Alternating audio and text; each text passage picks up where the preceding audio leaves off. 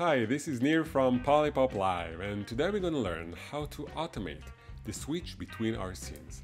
So you'll be able to create a project with several scenes that will automatically change one after the other, allowing you to concentrate on your live stream. This can be very useful if your live stream setup has several cameras or several inputs that you want to switch between to create a more dynamic or interesting live stream.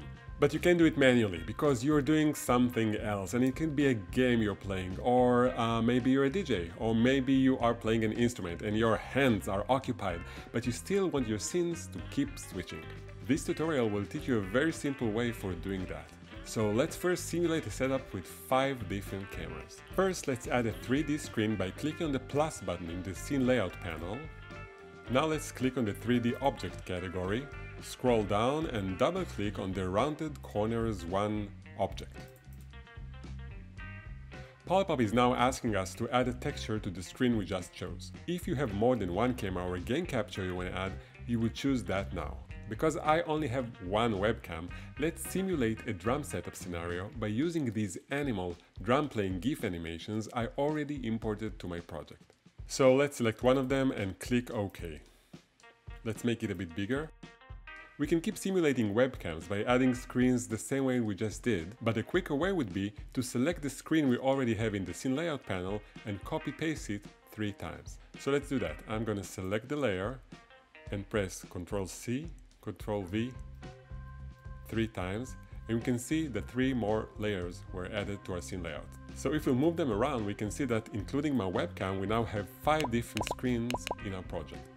Let's change our content by clicking the Open Library button here on the bottom left and choosing whatever source we want to present. For this example, let's use some more GIF animation instead of live webcams. We will see them under images and all we need to do is drag and drop them on the 3D screen we want to see them in. So let's do it with one of these. And here's another one.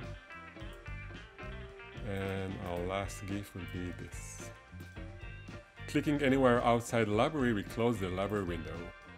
Now let's rename all the layers in our scene layout panel. This will help us organize our project, but it will also be very important for the tween transition we're gonna add very soon. And we can do that by double clicking the layer in the scene layout panel and type whatever name we want.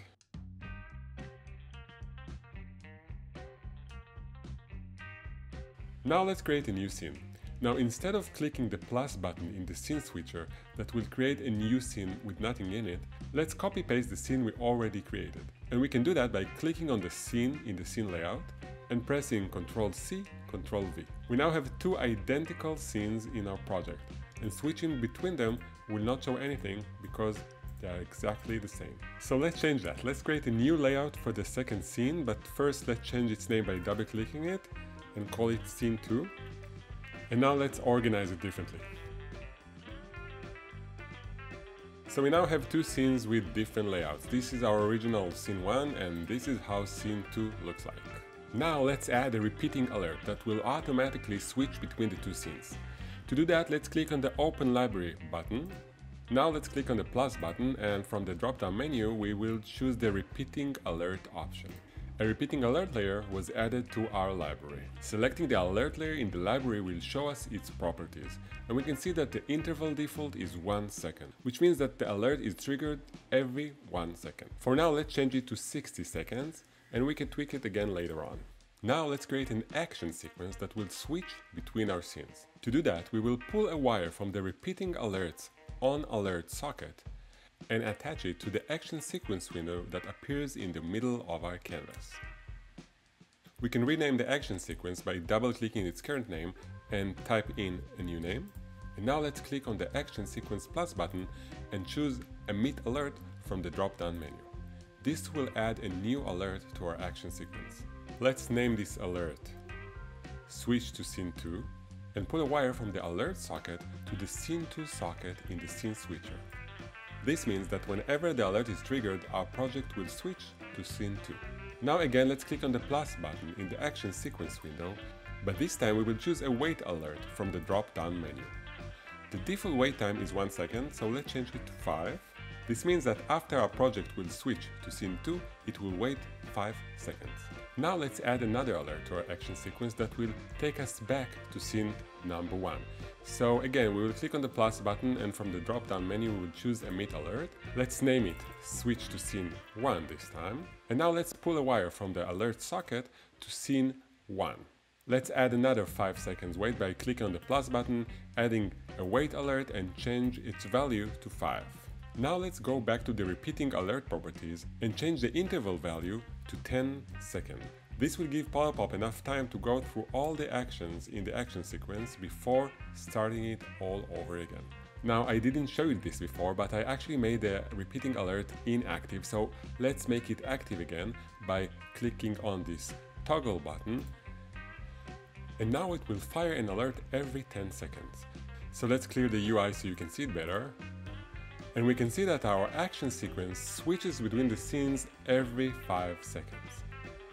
We can add a transition to make a more smooth switch between the scenes. To do that, we will click on the plus button here in our scene layout, choose the transition category, and there are many transitions to choose from, but for this example, I think the tween option will give us the best result. So I'm going to double click it, and we can see that a tween transition was added to our scene layout.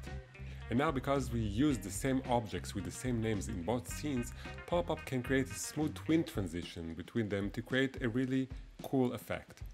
Remember that the project we just created has only two scenes, but you can add as many scenes as you want. I just took a short break and added two more scenes to the project to make it a bit more interesting and you can see that the action sequence is now switching between all four scenes.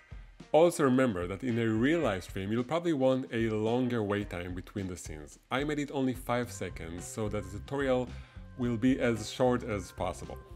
And we're done. This is it. You now know how to use a repeating alert to create an action sequence that will automatically switch between the scenes in your project to create a dynamic live stream while you concentrate on other things. Thank you for watching and I'll see you next time.